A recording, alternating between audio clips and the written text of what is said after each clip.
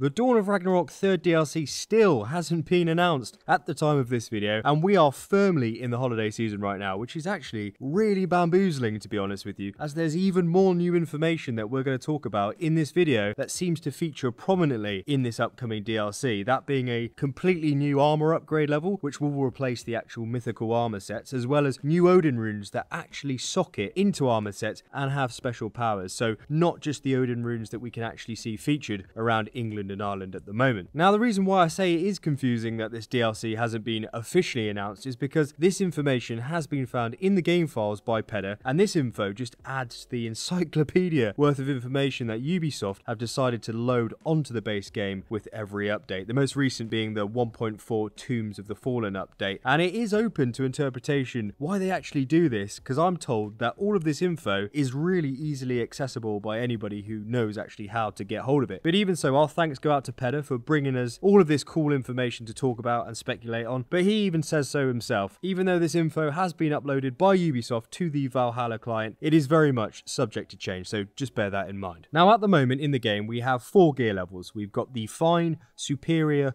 Flawless, and the current top level being mythical. And it does seem that in this new Ragnarok DLC, we'll have a new divine level armor set added to the system, usurping the mythical as the kind of top level upgrade, which will also be applied to all armor sets, by the way, as Peda has found the Raven Clan armor set noted as being upgradable to this kind of divine level, as well as all of the other main armor sets in the game. So it seems like this won't just be an isolated upgrade for specific Ragnarok DLC armor sets, but rather this divine level can actually be applied to all of the armor sets currently in the game across all DLCs and of course, yeah, the main game. But to actually upgrade to the divine level, we'll need some sort of resource such as the carbon, nickel and tungsten ingots that we've actually picked up in the game before to kind of upgrade our armor to all of these different levels. And well, to be honest with you, it looks like this mechanic seems to be continuing here, so a potential grind fest on the horizon. But it looks like we're going to be using a platinum ingot to actually use at a blacksmith to then upgrade our armor set to the divine level, and Peda actually tells me that it was originally named as chromium, but it seems that platinum is now the name that they've kind of settled on, and that's what they're going with. And actually, this is a really good example of what Peda means in terms of subject to change. So expect that kind of yo-yoing of names, even more so before launch, I reckon. But I do think that this chromium or platinum mechanic will remain the same, as it does state that this ingot will be used to enhance the quality of a piece of gear from mythical to divine. So even though the names change, I still think that this is going to be the mechanic that's going to be making an appearance in this Ragnarok DLC. Now that's all well and good, but with all of these armor sets being upgraded to this divine level, will that actually mean that they will subsequently change in appearance, such as the superior armor model then does when it's upgraded to mythical? Well, at the moment, Peda says no, but there is a few visual changes that look like they will be implemented, so we can easily differentiate them in the character UI screen. So for example, if the mythical to divine armor sets aren't visually changing, then there has to be something there which is easy for us to understand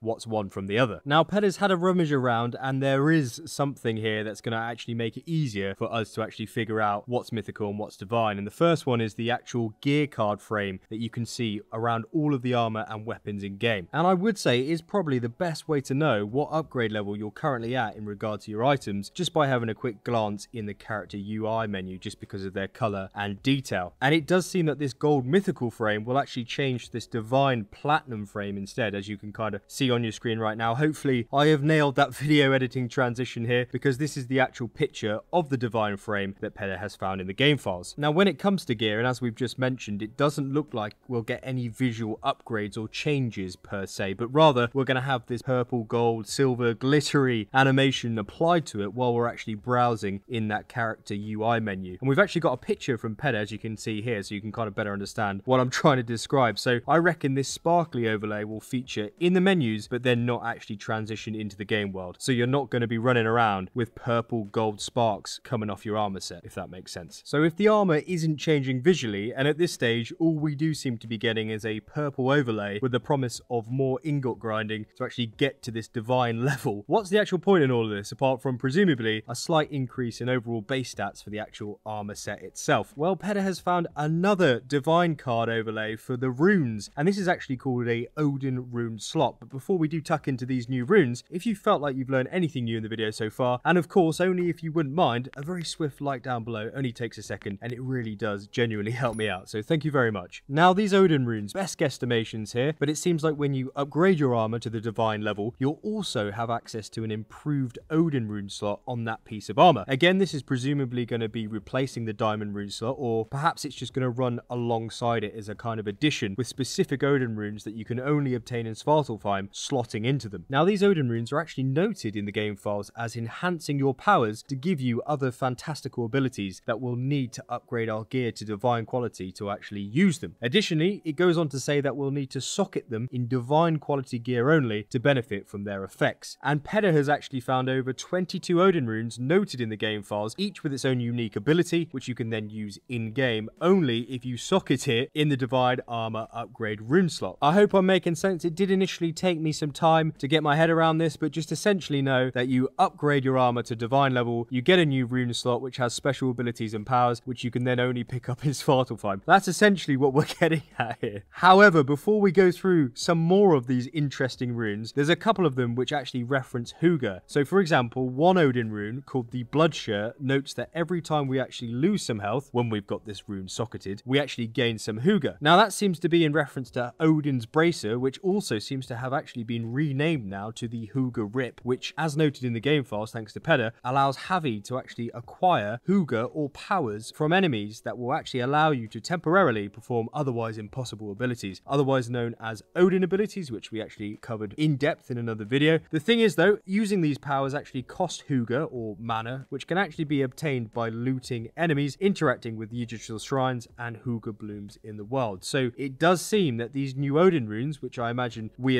just like other socketable runes in the game, but the contrasting thing here is that, that they're only available in Svartalfheim, will actually buff and increase the effect of Odin abilities when actually using Odin's Bracer or this Hugr Rip, whatever you actually want to call it. Now I think this hypothesis isn't too far off to be honest, as one of the Odin runes we actually have here is called Spectral Flash, where if we do socket this rune in the Divine Armor set, it allows the player to teleport, which is one of the Odin's abilities, and then once the teleport spell is complete, Jotun Glamour is then reapplied. So Jotun Glamour is also another Odin ability that allows Havi to camouflage himself amongst the Jotun NPC. So this basically means that it's refreshed because the Jotun Glamour ability is on a 30 second timer. So if you keep teleporting, you'll be able to essentially stay camouflaged throughout your actual game session, depending if you're pretty good or not. So it does look like there is an actual purpose to these divine upgrades, which will actually have a decent impact on gameplay depending upon the rune that you select, if not visually on the armor set itself, which I don't actually mind to be honest, because if it meant that we just had to grind for another armor level upgrade, as in we actually had to spend our time collecting platinum ingots for no benefit other than just a base stat upgrade to the armor set itself, then that would have actually sucked, been a grind fest and a complete waste of time in my opinion. But I do see some decent potential in these new Odin runes, especially if they enhance a certain type of gameplay that you yourself enjoy playing. In fact, there's actually too many runes to mention in one video here, so instead of just holding them back for a future video or whatever, I'm actually just going to put them all up on your screen right now so you can have a look in your own time or take a screenshot if you're interested and then kind of have a look through, see if there's anything here that you like the look of. And of course, our thanks again go out to Peder to getting these across to us so we could actually discuss them and have a first look at them. That's on top of everything else he's found. Cheers, mate. And also, if you haven't already, do come join our awesome Discord community of over 700 members. There really is some great people here, and it would be awesome to see you in the lobby. I'll also be covering more info soon, by the way, so if you do like to keep up to date on everything Valhalla and would like to be the first to know what's actually coming, do consider clicking the notification bell so you can find your way back to the channel very easily. And I think that's going to do it for me on this one, folks. I do hope that you enjoyed the video, and as usual, coffee's on me.